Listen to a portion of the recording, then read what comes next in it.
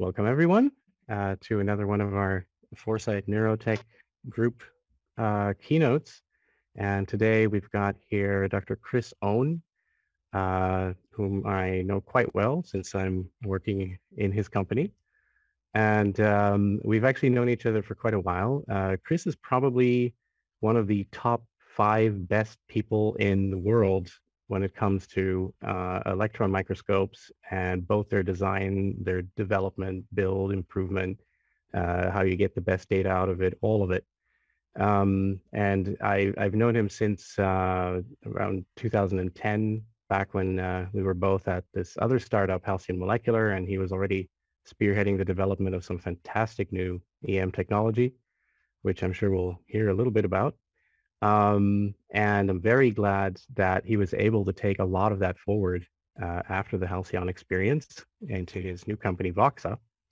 And uh, I guess uh, with that, I will open up the floor to Chris. Thanks very much, Randall. Um, it's a pleasure to be here and um, really delightful to um, uh, interface with uh, some new faces and uh, share some of what we've been doing, um, and also see some old faces here um, as well. And um, you know, we we wouldn't be here if it weren't for for um, um, some of the folks here, uh, such as Ken and and uh, Randall as well. So, and um, we're we're excited to uh, continue pushing things forward. so.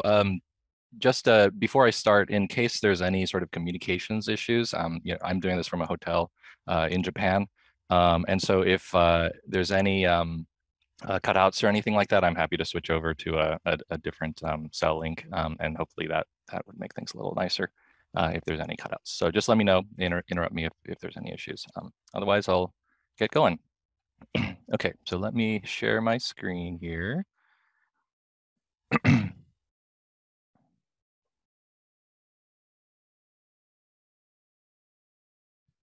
okay. All right, so um, the uh, the title of uh, this uh, presentation is uh, tour Whole Brain Circuit Maps.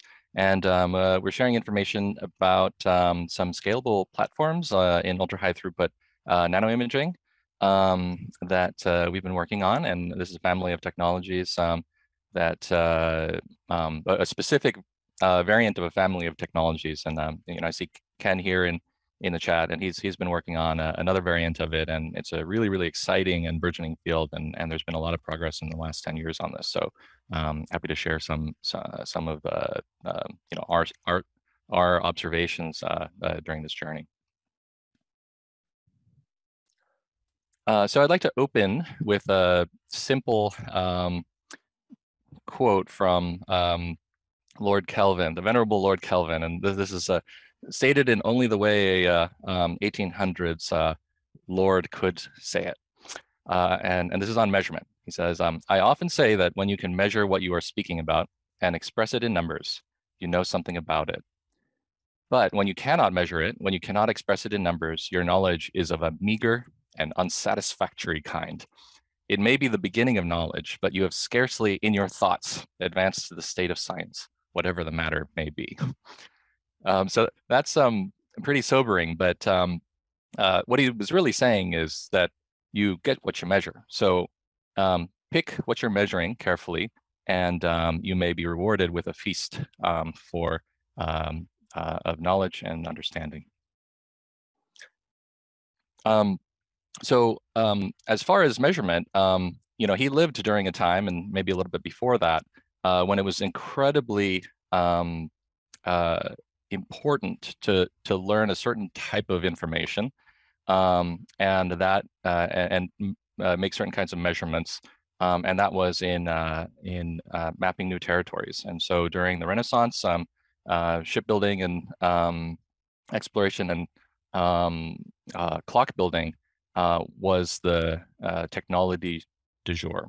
And during that age of exploration um, people were making maps and they were just uh, critical because um, the uh, uh, the benefit was that um, uh, when uh, you are able to um, uh, acquire information about territories um, and you know specifically visit the the individual areas um, in these far off lands, it enabled people to you know revisit um, those later. It enabled people to understand what the resources were there and understand how um, you know groups uh, uh or animals or uh, resources uh, flowed in in those regions and also gave understanding of um, you know information about passability and uh, you know opened up trade routes and information flow. So um, in the case of um, neurotechnology and, and neuroscience, um, what we see in terms of opportunities are the potential for elucidating huge variability within natural systems. You know, we are all individuals, and um, uh, there's tons and tons of variability, but also lots of similarities. And we're looking for you know, uh, novel patterns, hierarchies, you know, and using that as a baseline on which to, you know, develop new things such as, um, you know, therapies um, and um, informing new models of organization and computing. And um, I, many of us are probably familiar with uh, with the work of Ramón y Cajal, um, and um, this is just to set the stage for you know this new type of map making of of our current uh, uh, time. And um, you know, when I first saw these, I was just uh, absolutely enthralled. Um, you know, he was uh, um, he's considered the father of modern neuroscience, and you know, at the time he dreamed of being an artist in his youth. But his father wasn't into that. You know, he said, "Okay, you got to do something more useful, more effective." And so he, um, uh, his father, um, in, in, deference to his father, he uh, he took up uh, a scientific career, and um, he combined his his understanding of, of art um, and artistic methods um, and using the methods of Golgi to stain uh, neurons, he identified a huge diversity of cell types. So um, many of these insights and conclusions uh, on structure and function are valid to this day. And, and it really just emphasizes, um, you know, the importance of uh, being able to, uh, you know, go there and see it and report it to, to everyone else. And, um, you know, we, we all know that the brain is an incredibly complicated uh, system and uh, there's a lot of places to go look and um, we need to do that very efficiently. So um, let's talk about um, uh, uh, you know how, how we get to technologies for for making uh, extremely um, uh, effective and and complete maps. Um, so uh, just a little bit about us uh, as a company. Um, and Randall mentioned that some of our technology came out of a, a, a gene sequencing startup in the Bay Area called Halcyon Molecular. And um, um, we, we, we were working there on extremely fast uh, TEM-based imaging of uh, direct imaging of um, nucleotides, um, tag nu nucleotides in, in particular. Um, and so since then, we've we've uh, had quite a, an interesting meandering path, and um, our our core is to um, our, our, core value is to to create next generation technologies and and uh, work to commercialize them. So there's a, a few really nice um, uh, feathers in our caps. We uh, developed the first portable scanning electron microscope. It's about the size of a uh, coffee machine. And um, uh, down here in the bottom right corner, you can see it. Um, th this one won the um, Microscopy Today uh, 2018 um, Innovation Award. Um, we have also sent that SEM into space, and it's on the ISS right now. It's the first EM in space. We also participated in producing the first and largest synapse level brain map uh, that's the cubic millimeter IARPA data set. Um, and uh, that, that I think is the largest data set to date. Um, and um, finally, we, we also um, uh, produced some of the first EMs that are regularly used by grade school classes to inspire future scientists. You can see here uh, some members of our team and uh, Randall here, uh, number three down here on the right-hand side. Um, and just a little plug for our ISS work. Um, this is uh, now a national laboratory facility. Uh, the, the device has been proven out. You can go on YouTube and uh, look at videos of it uh, in action. Uh, there's some some really fun stuff like we uh, imaged a, a, Martian meteorite, the one that actually started the Mars program. Um, and we took it and sent it back up to space and imaged it in space and verified that we can actually do that. So that's really exciting for future exploration like to the moon and Mars. Okay, so um, let's uh, uh, move the theme onto the technical side of uh, uh what, what we've been able to um, uh, to build to to try and um, uh, serve anatomical neuroscience and take it into into the next to the next level. Um, so um, this area I I call um, ultra high throughput TEM, And um, you know, in, in microscopy, everybody's always trying to one up each other, and so there's always these uber and ultra and uh, you know the various types of uh, qualifiers. Um, and everybody's been really focusing on resolution to date, but um, uh, nobody really has been working on uh, improving the time uh, things in the time domain. And um, that that was very very interesting to me. And and uh, you know, at Halcyon Molecular, we had to work on that um, and and try, try and change things from the status quo. And that's been a very, very interesting area to work in. Um, so uh, um, it, the, the specific area we've been focusing um, to date is in uh, synaptic level cortical neuroanatomy. And um, uh, this is also, uh, you know, a, a, place where uh, uh, folks like Ken Hayworth have, have been working for a long, long time and, and have been very inspirational for, for our work.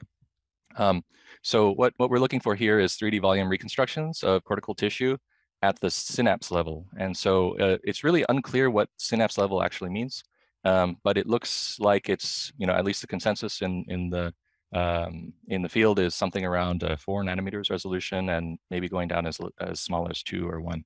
And that, that looks at uh, things like uh, synaptic um, gap junctions. Um, you know, these things are really, really small membrane um, uh, interfaces. And uh, we're also interested in where are the proteins and, you know, what, what are the neurotransmitter types and, you know, are they, um, um, uh, um, you know, various types of flavors um, that have been identified and also looking at new types.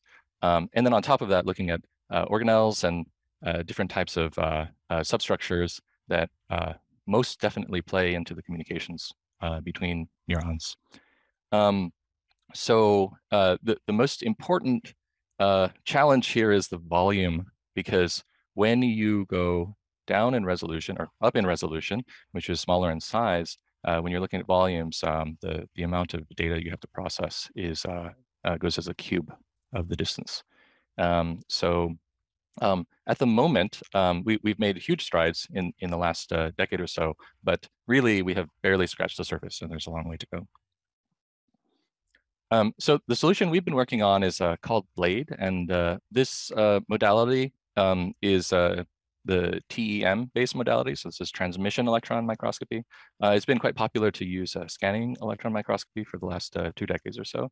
Um, and um, what we're um, what we we discovered at um, Halcyon Molecular by looking at different types of modalities was that really TEM to us was the most scalable uh, approach. And, um, and so um, taking that idea forward, um, we uh, have uh, made the sort of first uh, uh, commercial realization of that and uh, are, are um, you, you, know, have started demonstrating scale for this. so the, the main features are that it's um, um, fast, sensitive, and has multiple types of modes. Um, the speed uh, in particular, um, and this is applicable to other markets as well as uh, neuroscience, um, we can deliver 500 samples per hour and the machine is fully automated. And our sampling rate is uh, incredibly fast. It, it exceeds 350 megapixels per second. And uh, this is average speed. And, um, and so this is not burst speed. Um, and so from time to time, you'll, you'll maybe hear larger numbers like a gigapixel per second. And there's different types of like semiconductor mapping uh, hardware that can go, go a little bit faster. But uh, what we've really focused on is sustainable numbers and, and how fast can we actually go on average. And so uh, it's been pretty exciting um, to, to, to really try and push this. And, um, and so th this is the, the number that we advertise um, as uh, our capability for the current product offering. Um, what's great about uh, TEM is uh, it's um, pretty high resolution and it's pretty easy to get the resolution uh, down to about one nanometer. And that allows us to see uh, things like vesicles, organelles, synapses, active bodies, and we can vary the uh, resolution continuously. Um, and there are various targeted modes. Um, as well as general imaging modes. So right now, everybody's looking at sort of a, a, general negative stain. Um, and so there's there's some really nice ones uh, out there, um, like Roto and, um, uh, you know, uh, various uh, uh, like osmium um, or uranium-based stains. and then there's another class that nobody's really been working very much in, but we think it's a very interesting place to be, uh, which is to look at mo molecular probes for targeted studies. And that, that's really exciting for messaging and uh, you know, uh, states that are more like chemical states rather than physical states um, of, uh, you know, positions of neurotransmitters, et cetera. Um, and uh, I think what's really cool about what we do is that I, I think at the moment we're the only um, system uh, at, at, the highest speeds here that can operate 24/7 uh, and and operate overnight. So that gets us the extra shift um, at night, which is really hard hard to do for some of these sophisticated instruments. And so um, we we can routinely scan uh, tens of thousands of brain tissue sections in you know in on the course of several weeks. So um, you know the the process is to stick um, uh, a huge number of thin tissue slices onto uh, conveyor belts and uh, operate those um, operate in those and, and get the images um, uh, continuously over the, the, course of maybe uh, you know three weeks to to to a couple months. Okay, so let's um, move to the the concept of scale when it comes to this type of instrument. And this is really um, common thinking in terms of uh, technologies like um, uh, gene sequencing, but not so much in electron microscopy, which has to date been like a, um, you know, an expensive single instrument with a with a you know a PhD or postdoc user who's highly uh, highly skilled and highly trained uh, at, at, operating the instrument. Um, so um, where I come from, um, uh, some of my background has been in uh, you know material science and and uh, um, in, in crystallography space, and um, I, I, worked quite a bit in supercomputing, um, doing ab initio calculations, and I had built built some supercomputers in my graduate studies, and um, and so that really set me up to think about uh, you know what what it takes to take a you know capital equipment like uh, an electron microscope and really scale it. Um, so uh, in, in the case of computing, everybody's quite familiar with this. And, and it's interesting because everybody used to use mainframes in the old days in, in the 60s. Uh, and then it switched to personal computing. And, and now it's kind of, kind, kind of going back to, to, to mainframes and cloud computing. So um, uh, here we can kind of give a, um, uh, a comparison between what a, you know a con conventional sort of, sort of single user type of instrument is like versus a pipeline ultra high throughput uh, parallelized system. Uh, so in on the left-hand side, uh, uh, you know, there typically smaller studies are possible. Um, the experiments tend to be kind of one-off experiments, and in general, one sample must represent uh, all the samples. And in material sciences, this is really easy to do, but uh, in biology, this is completely the wrong way to go about it. Um, uh, also, the specialist labor uh, in the conventional case, it provides methodology and art in operating the instrument. Um, and uh, in general, the person has to be uh, in person. It's it's very efficient if the person's there.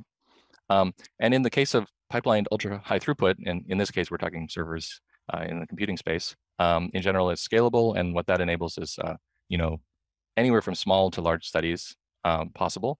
Uh, one can do combinatorial experiments, so you can do longitudinal variations, um, uh, re re repeat experiments, um, and also do cross-system studies, uh, you know, across multiple individuals, uh, across multiple species. And that's much, much harder to do in the conventional case. Um, also in, in the uh, uh ultra high throughput case, uh, you would look at many samples and look at them as a system rather than, um, you know, having one sample represent all samples. Um, and in the case of labor, uh, for these final two here, um, the specialist labor changes from, you know, the art of operating the instrument to workflow design and increasing acquisition uptime of the system. Um, and in order to facilitate that, one starts thinking in terms of fleets where uh, the machines are remote operated and cloud managed, just like servers in the cloud. And so in this case, you know, on the left-hand side here, this is a classic instrument, to JEOL uh, 2100 to, to, to uh, I think it's maybe a 2000, uh, 200 kV microscope. Uh, that's the, the old way of doing things. And uh, on the right-hand side, there's one of our systems uh, blade systems uh, but put onto a, an electron microscope. This is a cutaway, so you can see the inside. Um, and this is now software and cloud operated. So um, when we start thinking about um, you know this this sort of uh, uh, parallelized, highly parallelized, high throughput uh, pipelines uh, work uh, uh, system, workflows become incredibly important. And you know because uh, you're setting up an experiment to go for uh, a long time, sometimes months at a time. Uh, you have to spend a lot of time thinking about what what type of experiment you're going to do.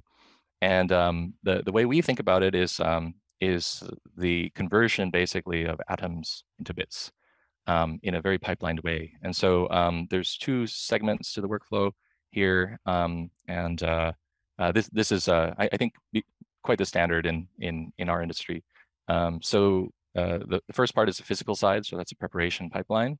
Um, and uh, the second side is the digital side, and that's that's the analysis pipeline.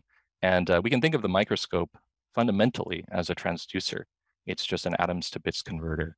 And uh, and so um, on on the one hand, on the feed side, uh, you have to get everything right so that uh, on the uh, um, on the sink side, on on the consumption side, um, that the representation represents actually what you want to um, capture in terms of information. So we start on the left from, you know, a brain uh, volume, um, the, that's uh, a, section of the brain that's pulled out, or, you know, now we're moving towards whole brains. Uh, this is thin sectioned and then deposited onto some sort of substrate media. And in this case of uh, the blade product, uh, it's um, a, uh, a, tape reel, really similar to, um, you know, uh, audio tapes, you know, from from, from the old days, uh, or um, uh, or a movie, movie reel, and then that's thrown into a, a capture system, and uh, that's our transducer that converts it into bits. Uh, all that data goes into data store, gets montaged, and then uh, reconstructed, and then ultimately reconstructed in a model. And what's really important here is that um, the the um, data density is incredibly high and so this data cannot be processed by humans anymore. It's so large. And we're talking uh, right now, we're in the petascale and we're moving towards exascale. And uh, that's where uh, machine learning really has to come in. So uh, on this back end here, machine learning is incredibly important. Okay, so um, one one point um, that, that's really important to uh, consider is, uh, you know, why TEM and why, why we chose TEM as, as the approach. Um, as I mentioned, SEM is really important um, and, and has opened up this field uh, significantly and everybody's been using it uh, for a long time. Um, but uh, we think TEM is, uh, is the way to go in the future. Uh, and the reason is um, we, we think it's uh, much more scalable. Um, and currently it's setting the, the benchmark and you know maybe the other technologies will will kind of leapfrog us. but but I think ultimately we'll will um, um, be able to exceed the, the performance at scale uh, from a cost per voxel or cost per brain volume uh, standpoint. Uh, so just to go down the list a little bit here, um, just, just a few of the, the highlights. Um, for, for TEM, the resolution is really high in XY, and uh, that, that's in the XY plane uh, of a thin section. Um, it's uh, continuously variable between 5 angstroms and 10 microns generally. Um, and it's, uh, uh, in my experience, easier to get high resolution than uh, field emission scanning electron microscopy. Um, it's extremely fast because it forces you to have a tiny staging volume, which means that the staging is extremely lightweight, uh, which really translates to speed very quickly. Um, there's also uh, parallel sensors um, that are made from uh, an external industry um, uh, to electron microscopy, which is really a small cottage industry. And what's great about that is that they're always improving in speed and density. So you kind of get things for free there. It's uh, kind of like how in gene sequencing, the um, uh, cost uh, per base kept going down because bioinformatic um, uh, computation kept going down uh, in price. And so it just get, kept getting easier and easier and cheaper and cheaper um, to, uh, to, to, to do uh, complex reconstructions. Um, and that's, you know, that, that boon came from an outside industry, from, from the main industry. Um, and uh, a few other things. Um, the spread electron beam and TEM, because of parallel illumination, uh, makes things less sensitive to charging. So you don't dump all that charge into, into one place and try to handle it. Um, and um, in, in the current state, um, and, and uh, some SEM techniques also have the ability uh, to do reimaging, but uh, in general, TEM uh, methods, because it's archival media, is really forgiving of mistakes. So if you go and image something wrong, you can go back and reimage it, or if you want to image it initially at low low magnification uh, to get a lot of information initially, um, then get way more information later at high resolution. You can do that, um, and uh, uh, and and then uh, there's sort of lots of room headroom for this uh, this way uh, of doing things to grow. Um, now each technique also has disadvantages, of course. So in TEM, you know, this is a transmissive uh, technique. And uh, even though it has higher resolution in X and Y natively, uh, it has much lower resolution in Z. So um, uh, nominally, that's limited by how thin you can slice the tissue. And uh, so the um, thickness range uh, generally is uh, 30 to about 100 nanometers in Z. Um, and SEM has a has the the advantage there right now because the the depth sectioning is is around five nanometers in resolution in Z. So um, one might get projection artifacts and confounding views, and um, that that I think is um, still sort of up in the air as to what what whether or not that gives us all the information we need or not. Um, but um, I do think it's solvable. Um, and then finally, the the the big, you know, the sort of elephant in the room is really that the samples of TEM are incredibly fragile. Um, but I think that can be solved with management. Um, and so so far we've been able to reimage tissues, and it's uh, pretty archival media, and we've been able to uh, reimage, uh, you know, 100 or 200 times the, the same tissue. So as long as uh, one is fairly careful, I think this this can be managed. the, the most difficult part is the sample preparation side in order to make the, the samples reliably. Um, and there's, you know, there's problems for both SEM and TEM methodologies in terms of how do you section an entire brain. There's there's this whole field uh, uh, challenge uh, called subsectioning, which is uh, how do you how do you make the blocks that you turn into the thin sections, uh, and how do you connect the blocks together? And and at the moment we don't know how to do that yet, but I'm hopeful that will be solved. Okay, so um, let's switch now to some demonstrations of uh, the performance of the system, and um, I have a few YouTube videos here. Let me see if I can bring them up and I'll share the screen. Um, here.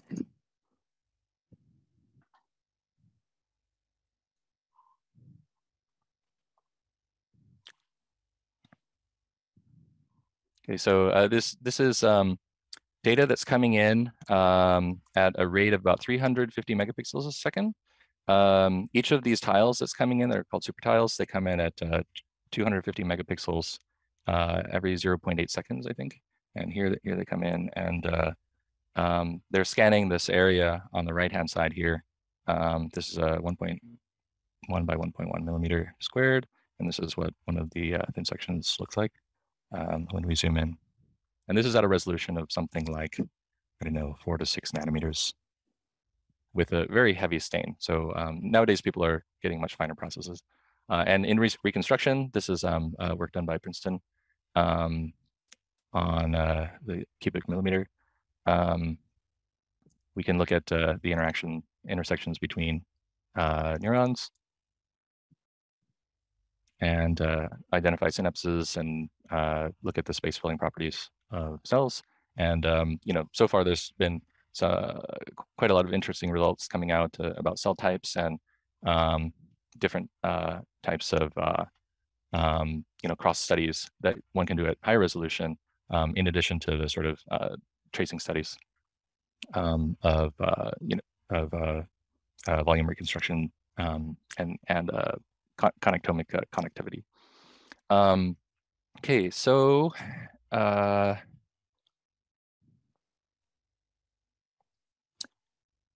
going to move on to um, some of the methodologies for increasing speed from such systems.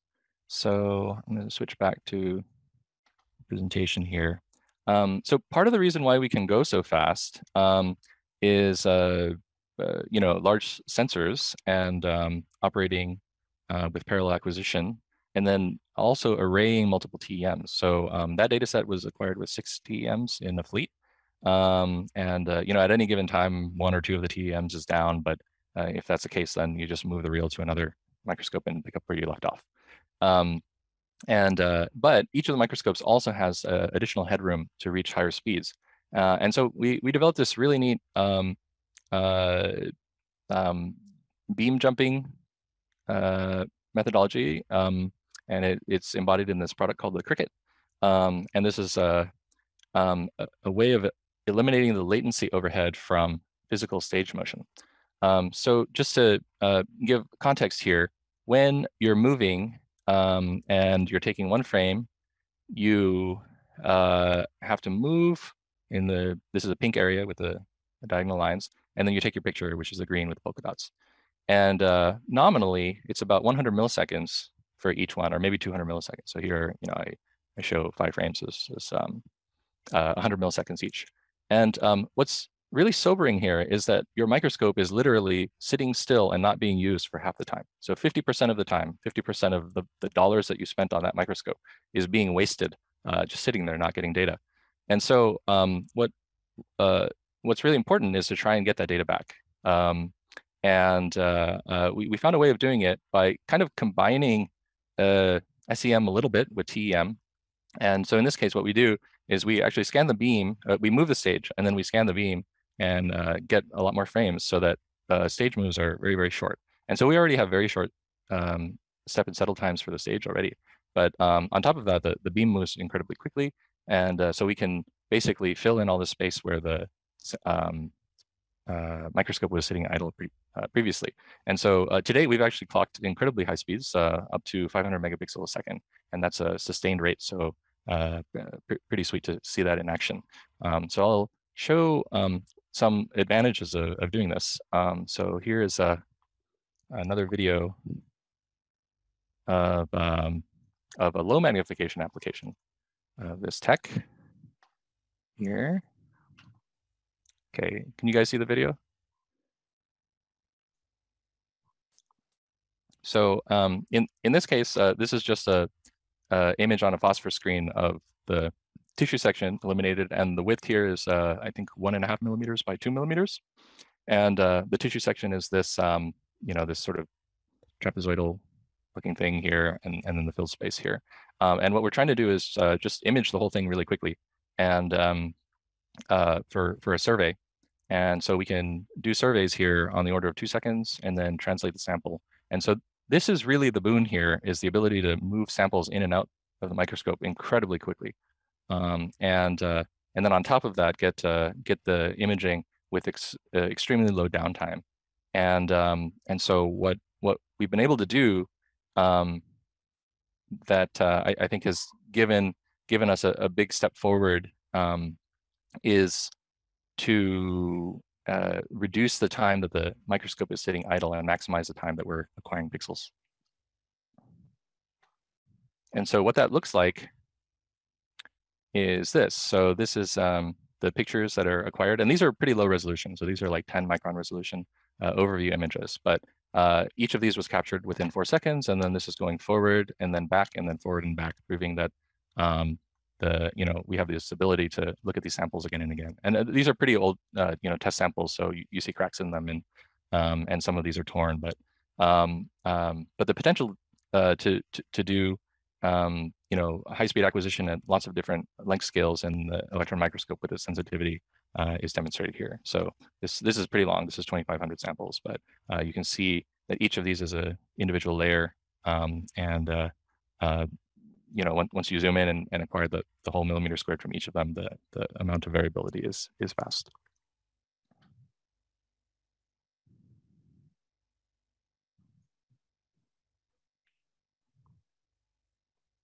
Okay, so um, uh, so um, I, I, invite folks to um, take a look at the this uh, uh, MICrONS dataset. Um, it's, uh, I think, the largest one that's been collected to date. Um, I think the uh, um, the SEM folks have been able to produce a, uh, another data set which is pretty close recently.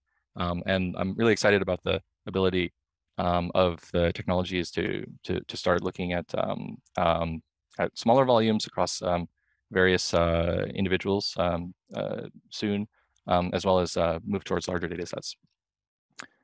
Um, okay, so let's let's look um, at uh, what is in store for the future, um, what what it takes to make large volumes routine. So um, uh, this is data about the um, uh, the IARPA dataset, which was um, the millimeter cubed image in 2018. So just some specs here. they acquired it uh, at the Allen Brain Institute at 80 to 120 megapixels per second across four nodes, and that was about six months of imaging um, acquired 26,500 sections there, um, which produced 125 million images at 2.2 petabytes.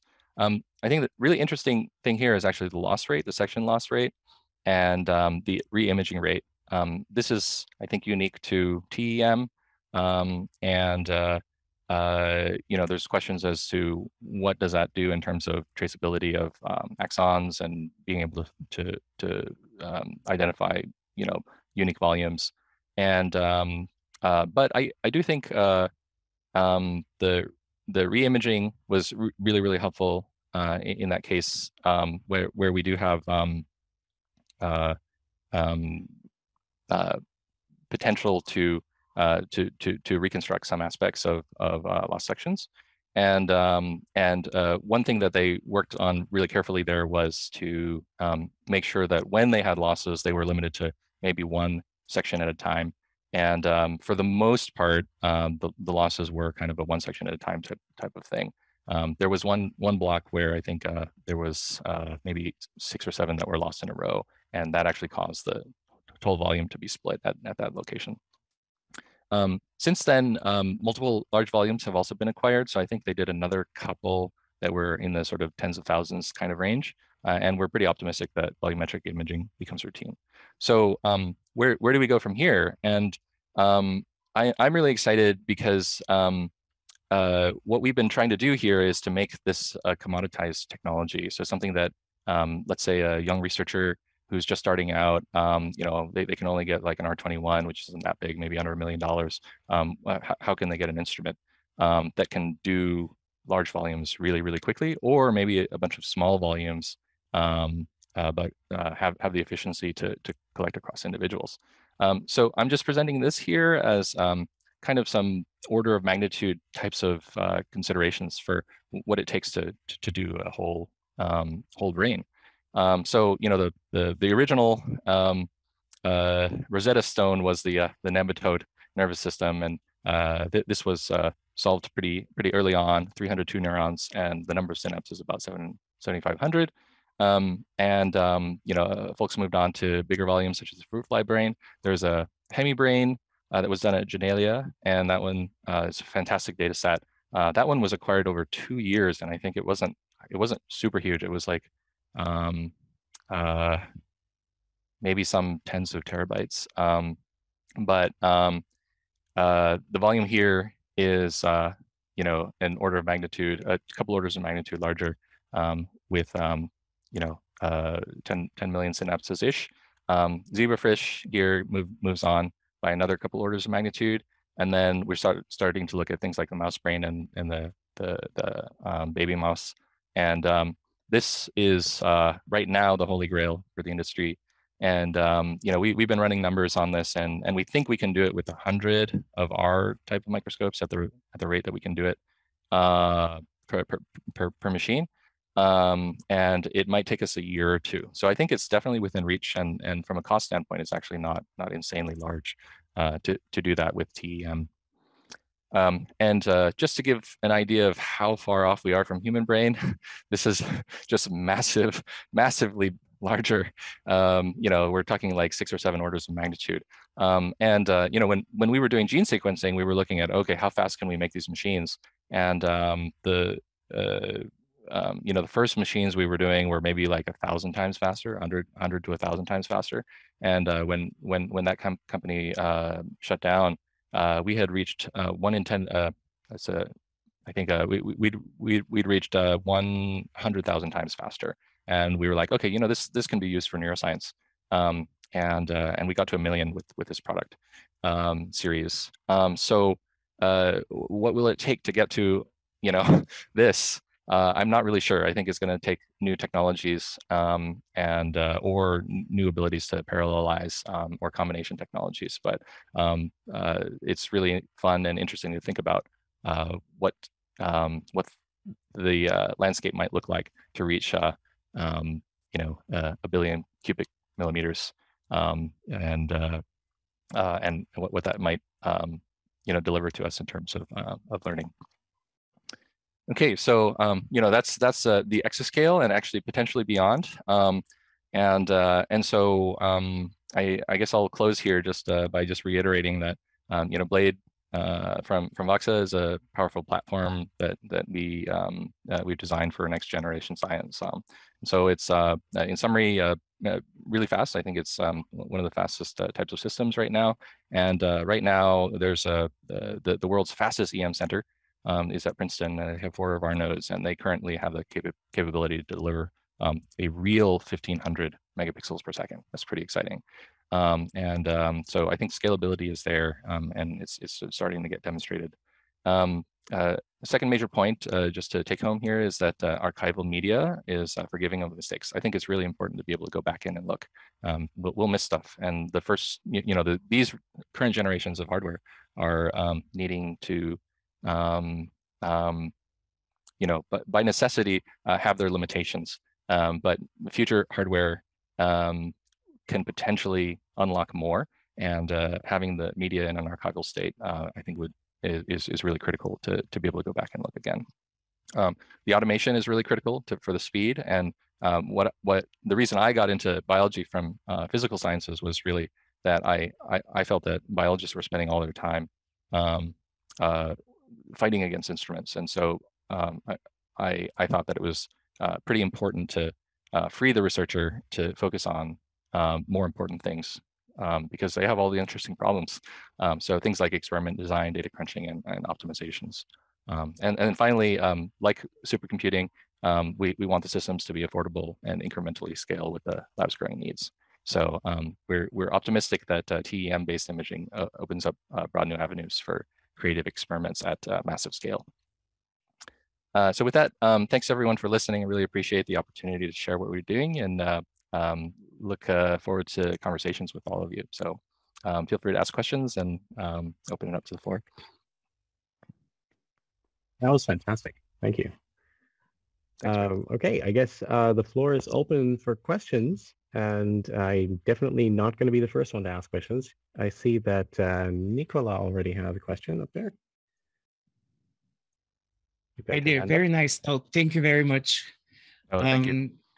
That's very exciting. So when um, Rodney Douglas and Kevin Martin um, worked at the scale of the millimeter, they ended up with the canonical circuit in the brain. And then 40% of it was left as called the dark matter of the brain. And so the, the main concept that came out of their studies was we have repeated models, the circuit is everywhere the same.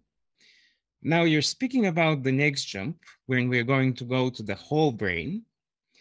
Um, people have already looked painstakingly in trying to trace single neurons, spending a whole PhD for like 15 neuron uh, cells to be traced from the front to the back to the brain. Um, what do you think are the main possible discoveries that are waiting there on the other side when we get to the larger volume, the whole mouse brain? what is there that has not been discovered with you know the canonical circuit um, well uh, you're asking a um, an applied physicist here so um, i will have to qualify um, my, my answer as uh, conjecture and um, just looking at things from the outside right so i'm a tool builder um, uh, with great interest in uh, uh, in in the the neuroscience so in my experience, at least looking at physical sciences, is like you don't know until you look. Like things like if you look, uh, eh, you know, folks, uh, you know, solved the quantum mechanics um, uh, uh, uh, equations, right, for for for for the atom, and then they look inside, and there's all these bizarre structures with um, that are sub-angstrom that um, are actually not supported by the mathematics and, and new mathematics has to come, right? So um, I, am a big proponent of saying you just have to look. So I think you're, you're kind of with me there on that. Um, there is so much variability in com communication. Uh, you know, there's there's uh, sugar sugar channels, you know, and then there's like kinases and and uh, different types of neurotransmitters. Main neurotransmitters have been identified, but um, you know, everybody thinks uh, you know you, you, have action potentials, um, and that's maybe a very simplistic model. I think that there's uh, many many hierarchies in there.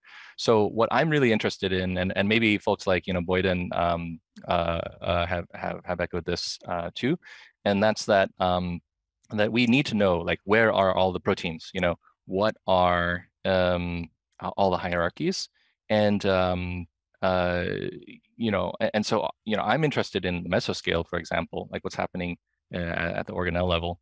Um, cell types i think is huge. Like pe people haven't really been looking at like you know distribution of cell types. You know they they they have been extrapolating you know so um, I, I remember when i did my phd um, uh, we were in ultra high resolution, and we said, uh, you know, we were looking at like one uh, one nanometer, uh, sub nanometer down to almost one angstrom, and uh, my professor um, would always make this point that every single ultra high resolution image that has ever been published could fit on the head of a pin, um, and that's barely anything. So, um, so I don't know. Uh, like so, conjecturing here, I would just say that um, I think people are thinking very simplistically and uh, and answering this question before it's really been asked. Of um, you know, okay, I have a canonical circuit and saying it's done. Um, you know, it's it's uh, really similar to also um, like Linus Pauling was a big fan of. Uh, you know, he was a big crystallographer, and uh, the um, Andy Shechtman, uh, an Israeli physicist, he discovered quasicrystals, and uh, Linus Pauling didn't think it was possible, and uh, he was completely resistant to it, and and um, said, you know, this this this couldn't be. Uh, there there is no way you can have a you know these these these odd Fibonacci type, type crystallography orders. Um, and uh, he had to pass away, and the entire opposition left when he when when he passed away. And then it became known that that this was actually real. Um, and uh, and finally the Nobel Prize was awarded. So uh, my sense, just you know, as a as, as a scientist and a researcher, is that uh, the that you just have to look and you have to look at the data and the data will tell you. Um, and uh, and so um, my, my view is to open this up uh, to, to, to, to people to, to, to, start looking at the territories once the maps are provided. So ultimately, I'm just a cartographer and hopefully helping people bring back, um, you know, uh, uh, valuable maps that they can interpret. I agree with everything that you said. Uh, if you allow me a second question, though, um, it's really nice that you rose um, uh, Ed Boyden up. So EM has the problem of the glutaraldehydes that makes everything not very perme permeable to staining. So mm. that's another reason why you need the small slices. Mm -hmm. Boyden, with the expansion, allows access to the proteins, plus makes them visible by shifting the scale. So which technique you think has more chances to catch up with that positioning? They just started publishing classification of synaptic densities with expansion microscopy. Yeah, um, I, I think co-localization correlative is critical.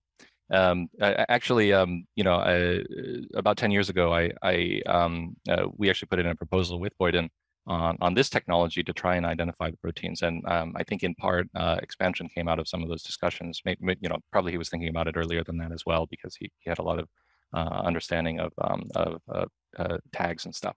But I think fundamentally, um, th this is a sample prep problem um, and uh, how you treat, um, you know, post-processed uh, samples. And, um, and, and so if you remember that, uh, that slide here where I showed um, this this pipeline here. And so the preparation of the sections, I think there's a lot of opportunity there. Um, you know, we have to kind of unlock this chicken and egg type of problem where we go from, uh, um, uh, uh, uh, you know, not being able to get a lot of voxels, you know, to now we can get a lot of voxels. And we think that now the, um, uh, the attention should focus back onto sample preparation a little bit. Um, but things like, um, okay, what kind of um, uh, combinatorial stains can you do? What kind of functional imaging can you do before uh, in light microscopy and correlate that to the EM? I think that's absolutely critical.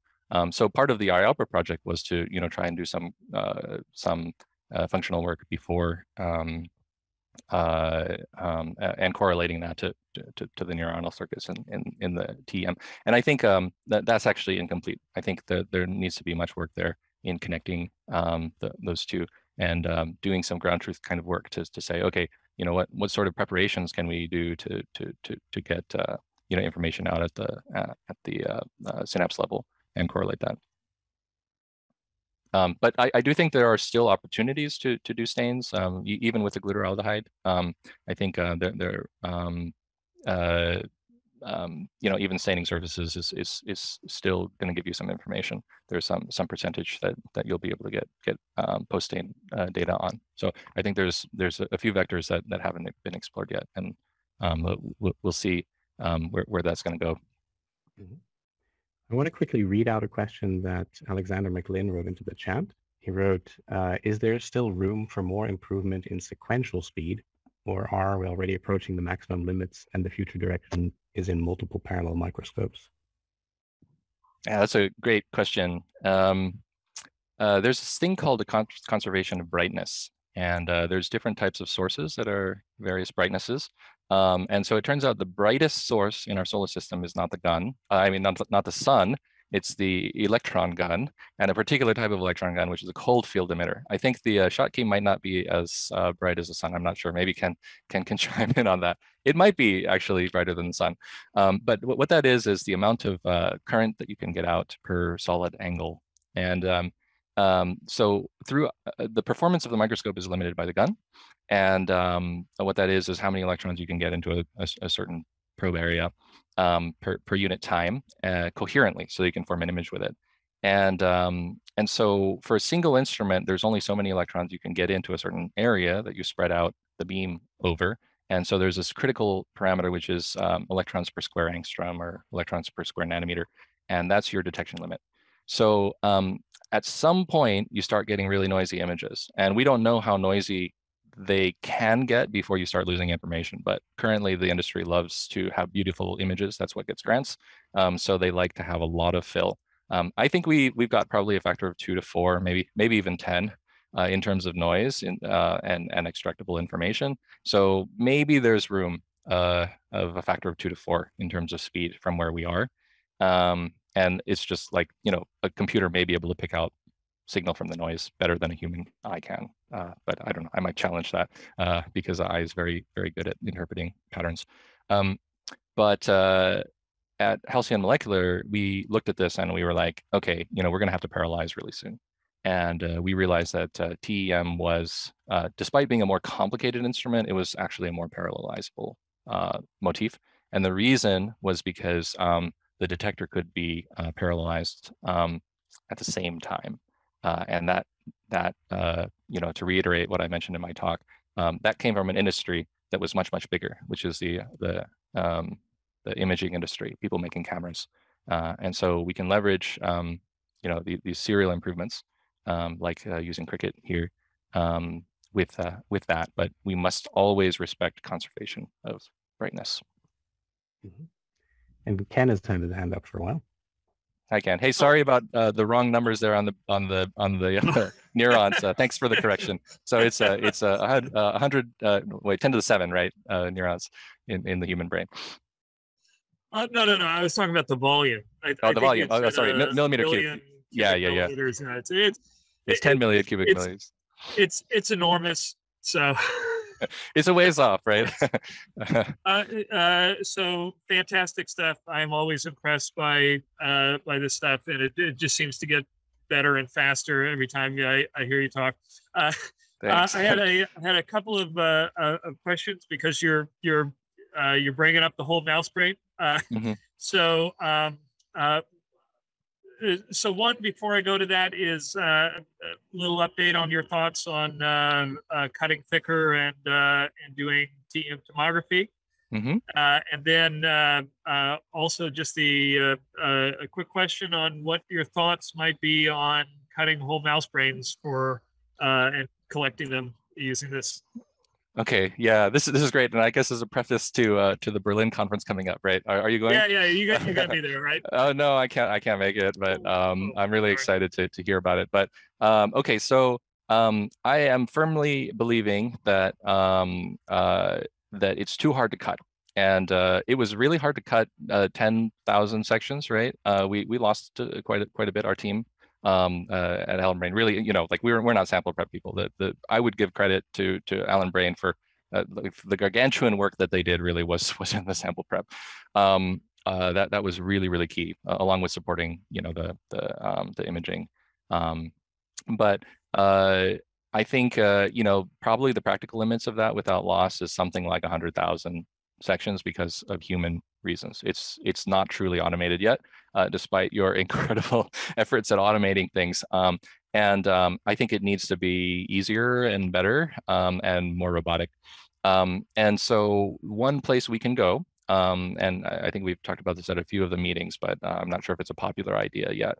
Uh, but I do think we need to go thicker.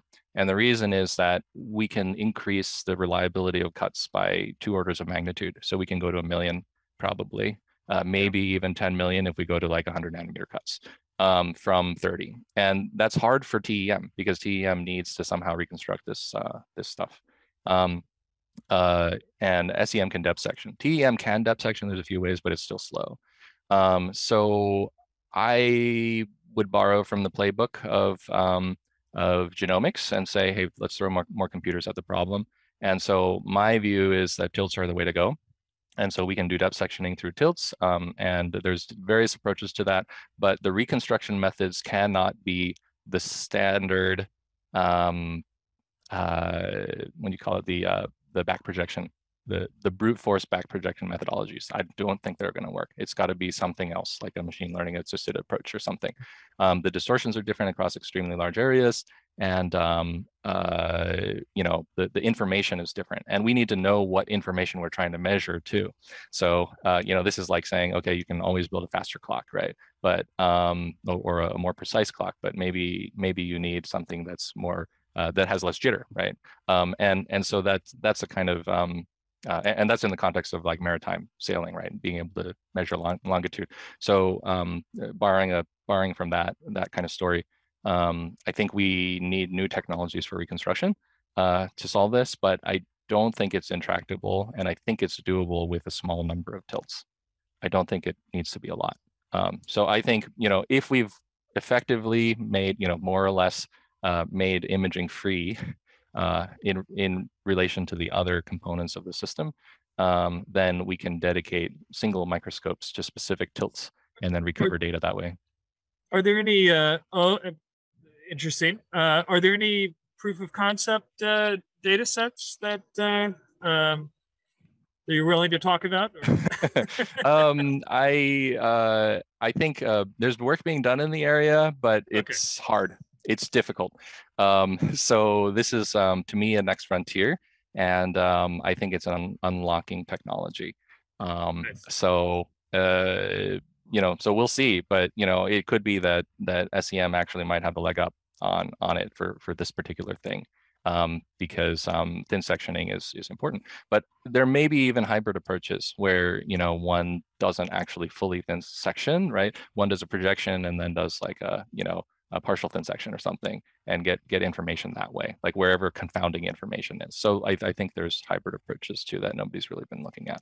So um, you know the data sets are extremely large, right? So so you have to pick a way to go and and and and run with it. But um, my my view is that doing small data sets and uh, lots of individuals is is is a great way to go right now, and not going after the giant data sets because um, yeah. I think we'll learn a lot more uh, leveraging the speed that we have now in the tools across different individuals um, and different technologies. Awesome. Thanks. Thanks for the question, Ken. Let's see, can you still have your hand up? But I guess that's not for a second question, right? Um, anyone else got any remaining questions here? We've actually, we're slightly over time already, so we should probably close out soon.